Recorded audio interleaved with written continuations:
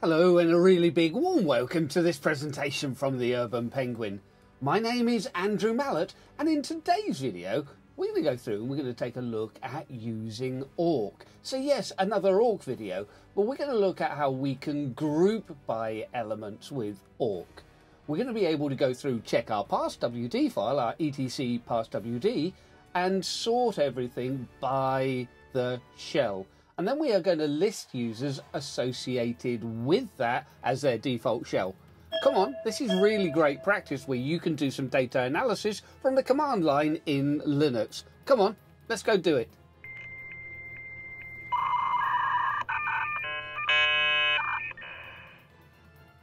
And here we are then, our glorious command line. It really doesn't matter which distribution you're using, but you can see that we're using Ubuntu here, but pretty much any Linux distribution is going to work for you. And we're going to take a look at using the awk command. With awk, we can specify our field separator, and we're going to be looking at the etc passwd file. Now we know that uses colons as its separator.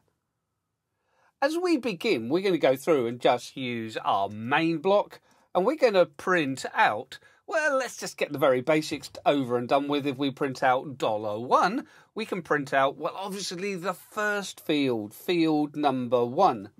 We can close the block, close our quotes, and then specify the file that we are working with, the etc slash pass wd. Now this is great where we know the number of the field that we want. But if we want the last field, we can use NF. NF is the number of fields that we've got. So we've got seven fields. This is really like putting in dollar $7, but we haven't had to count it all up. We can count the number of fields, or awk does it for us, and it stores it in the NF variable. So we can see now that we're getting all of the shells. And this is important for us because we want to use this field, the seventh field, to organize and show our data. We want to list the users associated with different login shells. Now, to be able to do that, we're going to have to do a little bit of work. The first thing within our main block, this is where the processing occurs, we're going to go through and create an array, a list, if you like. So we can go through and say, call it shells. So we can have a list of shells. And we can then go through and populate it with the last field. So we can go through and say, well, we can read in the last field. And we want to populate it with its current value. So let's say this is bin bash. The first time we go around, maybe there are no users associated with that. So the key is slash bin slash bash. We want to then go through and add users to it. So we're going to add in then its current value, and it's probably going to be empty. So we can go through and say shells and its current shell value. So NF and we can go through then and specify that we want to have space separated users and we can read in dollar one. So this is creating the array. I'll show you it being printed out later as we start building up, but this is going to be a list of shells as the keys. Their values are going to be space separated list of users.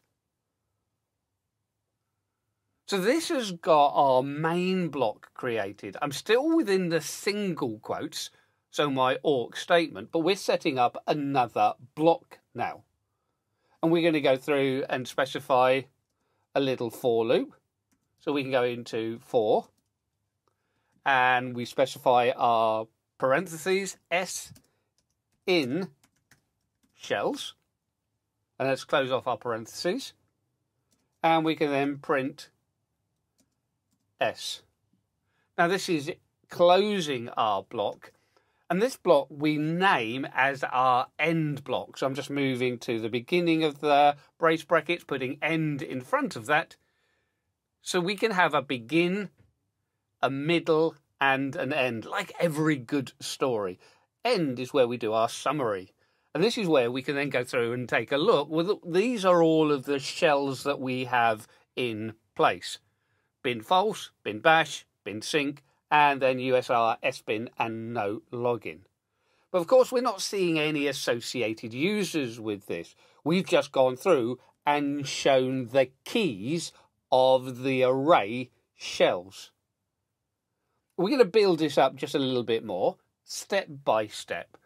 So we can go through and say we're printing S for shell here, but we can go through and put some text in front of it. If we go through and put our double quotes and put shell, close our double quotes, we'll have a colon and a space, close our double quotes. We're using double quotes because the outside quotes are using single quotes. So make sure we don't get into quote mayhem we can keep our quotes separated. And we can see now that we've got a little bit of a title coming out. We're going to add in a little bit more because remember, we want to build up a list of users as well. So after our shell, the letter S, we can go through and add in our double quotes again and put a backslash N and then users colon close our quotes and then hit enter. And as you can see now, we've got shell users, shell users, shell users. Now, obviously, we've got values sitting there for our shell because that's the key. We now need to start printing the values. So for this, let's clear the screen, move it back to the top, and say, I know we're taking this slowly, but the idea is to give you time that you can also go through and follow this in your own systems and to get some comprehension of what's going on. Sometimes awk isn't necessarily your best friend, but it just takes practice and building it up step by step. But remember, if you do like this video, then please hit the like button. Hitting the like button is going to allow other users to be able to find this and they're going to be able to share your enjoyment, hopefully. So click like and click it now. Thank you. As we continue, we need to go back into where we've got our users. And of course, this is where we're going to do the work and we're going to, outside of the quotes, but inside of the brace brackets, we're going to go into our shells array and then print out the value of our current entry.